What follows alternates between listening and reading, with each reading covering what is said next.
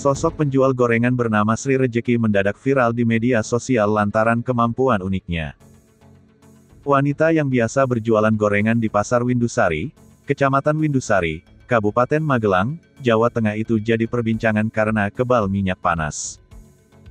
Saat berjualan, perempuan berusia 55 tahun itu menggunakan tangan kosong sebagai pengganti spatula untuk menggoreng makanan di minyak mendidih.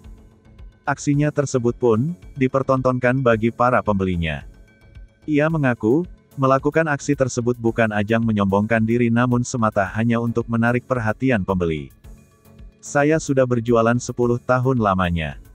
Mulanya, pas pertama kali mencoba memang terasa panas namun tidak sampai melepuh. Seiring berjalannya waktu rasa panasnya itu, minyak jadi biasa saja.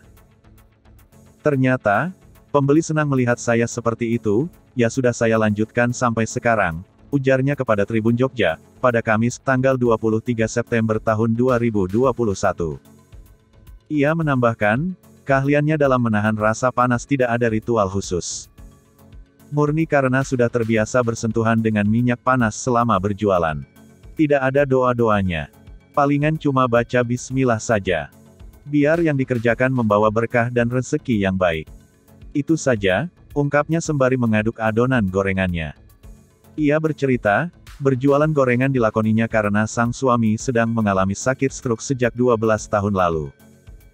Sehingga, dirinya lah yang mengambil alih peran menjadi tulang punggung keluarga untuk menghidupi tiga orang anaknya.